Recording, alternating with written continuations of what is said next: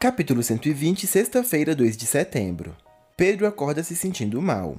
Dona Branca e Nancy comentam sobre o heptavírus que cada vez mais vem sendo noticiado. Tânia conta para Otto que o consultor apontou diversos pontos negativos no seu livro. Otto oferece ajuda financeira para que ela faça uma viagem e tenha inspiração para realizar os ajustes. Sara fala para Otto que o rosto do menino da escola Ruth Goulart não combina com nenhum outro existente. Poliana aceita faltar aula com Eric, porém no meio do caminho a menina desiste.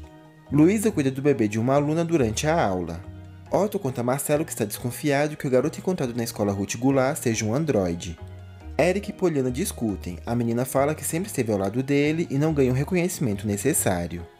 Poliana chora, pede conselhos para Kessia e toma a atitude de contar sobre o caso para Elô.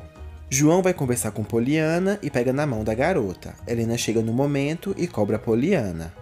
Pinóquio continua sentindo coceiras na perna.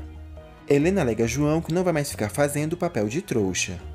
André fala para Durval que deseja convidar Raquel para jantar.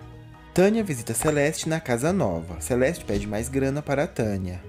Violeta e Walt Disney tentam consertar a perna de Pinóquio.